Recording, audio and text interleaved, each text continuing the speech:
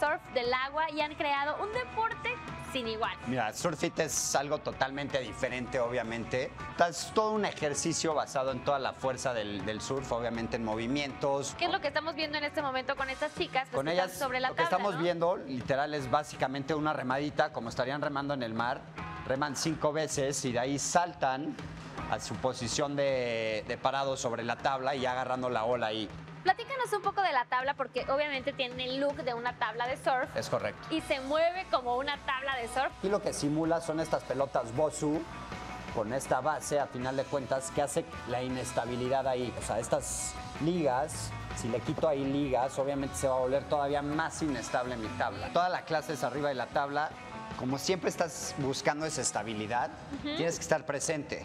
Entonces, si te distraes tantito, obviamente es muy fácil que te puedas caer de la tabla. Tú haces surf en el agua. Sí, Y eso te da también además esta experiencia y técnica para poder trasladar a las personas pues a salirse de la ciudad y llegar hasta la playa favorita que quieran a tomar esta clase. Exacto.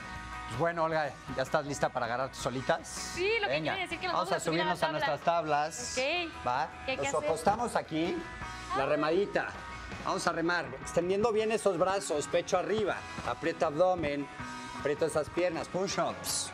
Uno, dos. Ay, se mueve muchísimo la tabla y eso es lo que le da muchísima cinco, intensidad a cada uno de esos ejercicios. tres, dos, uno. Voy a saltar, pierna derecha hacia adelante, izquierda se queda atrás, bajo mano derecha y activo ahí mis piernas. Esto es lo que simula como si estuviéramos nosotros agarrando ahí velocidad en nuestra tabla.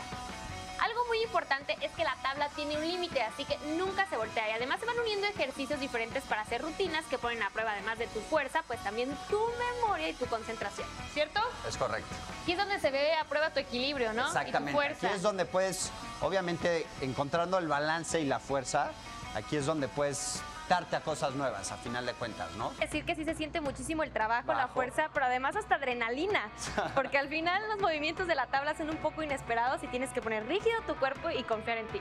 Correcto. Entonces ahí bajamos, activamos piernas, encuentro fuerza y balanceo mi tabla de adelante hacia atrás. Ahí vamos en Instagram como SurfitMX. Ahora sí que como dicen aquí, muy buenas olas, chicas, Buenas gracias por recibirnos en su clase. Gracias. Sigan con mucho más aquí en Venga la Alegría.